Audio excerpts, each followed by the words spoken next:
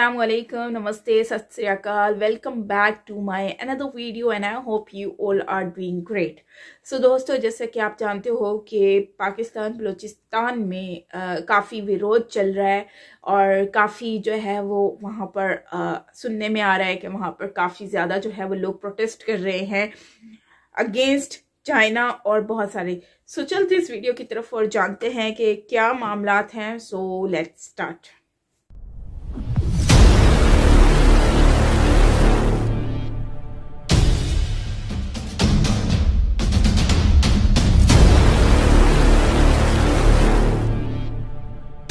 पिछले एक महीने से पाकिस्तान के बलूचिस्तान के ग्वादर बंदरगाह पर लाखों लोग पाकिस्तान की इमरान सरकार के खिलाफ धरने पर बैठे हैं। ग्राउंड ज़ीरो से पाकिस्तान में वियोन के संवाददाता अनस मलिक ने बात की, इस धरने को लीड कर रहे जमात इस्लामी के लीडर हिदायत उर रहमान से।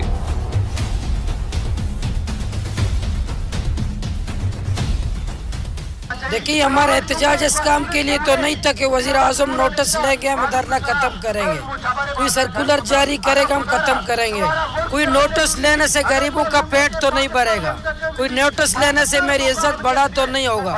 नोटिस के बाद मैं देखूँगा आवाम देखेगी कि नोटिस के बाद उन इशूज़ पर अमल दरामद होता या नहीं होता, उसके बाद हम फैसला करेंगे। ये सत्तर साल की परेशानियाँ हैं। लोगों के दिलों में आग लगी हुई है। लोगों के दिलों में जो आग है, वो आग इनको यहाँ ला रही है।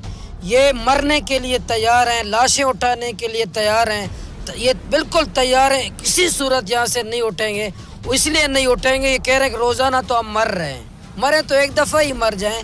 तो इसलिए ये वही तड़प है, वही दुख है, वही आग है, जो इस ालिमाना निज़ाम ने जो हमारे दिलों में, बलूचिस्तान के लोगों के दिलों में जो आग लगाई है, वो आग है जो यहाँ मजबूर कर रहे हैं कि वो घर के बजाय एक महीने हो गए, हमारे एहतजाज बढ़ ज़रूर रहा है, कम नहीं हो रहा।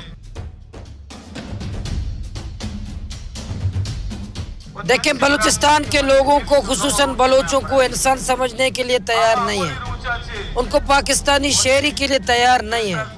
हमें शक की निगाह से देखा जाता है। हमारा एक नौजवान भी को, एक नौजवान को एक लाइक अगर बटन में किसी पोस्ट पे लाइक कर दे, उसको लापता किया जाता है।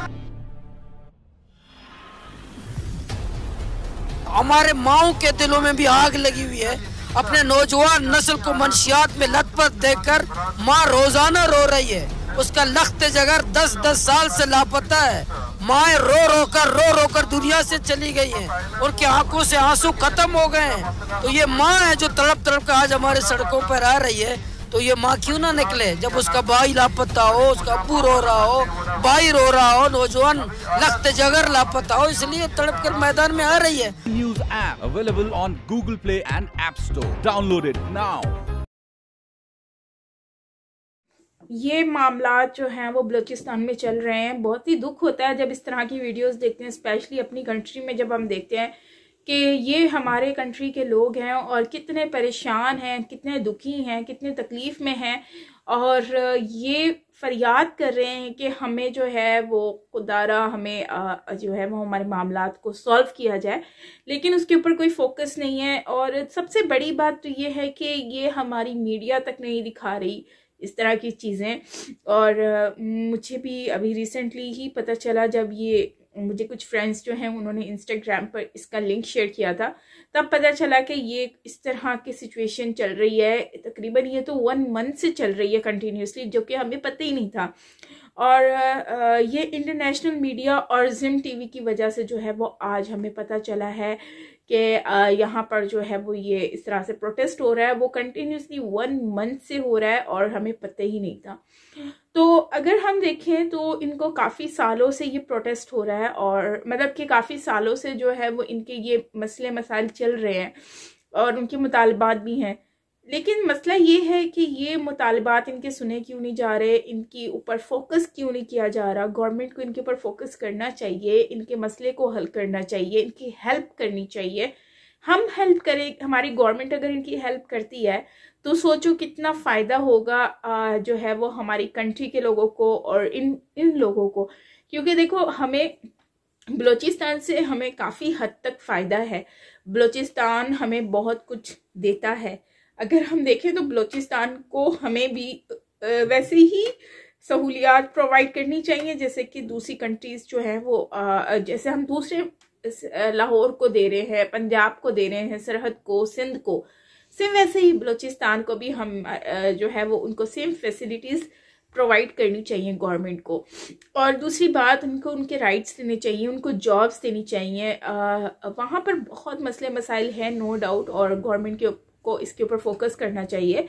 और उनके बच्चे हैं जैसे कि बता रहे हैं कि हमारे जो बच्चे हैं आ, वो चले जाते हैं गायब हो जाते हैं किसी को पता ही नहीं होता। माएँ रोती रोते चुप कर जाती हैं इल्तजा करते करते।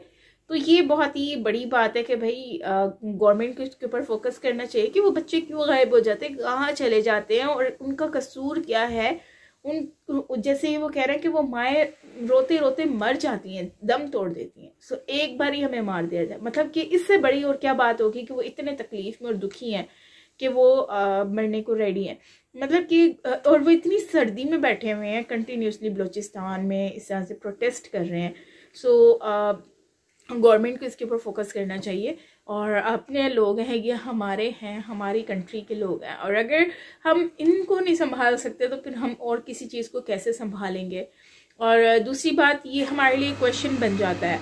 सो so, आपका क्या कहना है वो कमेंट सेक्शन में बताना। बाकी ओवरऑल यही कहूँगी कि बलूचिस्तान पाकिस्तान का पार्ट है। बलूचिस्तान में जो है वो जो पाकिस्तानी रहते हैं जो लोग भी रहते हैं वो हमारे हिस्सा है हमारे अपने हैं। सो गवर्नमेंट को उन लोगों के उनके साथ भी सेम वैसे ही जो है वो उनको उनकी उनकी हेल्प करनी चाहिए उनकी बात सुननी चाहिए उनको उनको जो है उनके जो मुतालबात हैं उनको सुनना चाहिए। बाकी क्या आपकी क्या राय है वो मुझे कमेंट सेक्शन में बताना, बाकी मिलते हैं नेक्स्ट वीडियो के साथ. Till then take care bye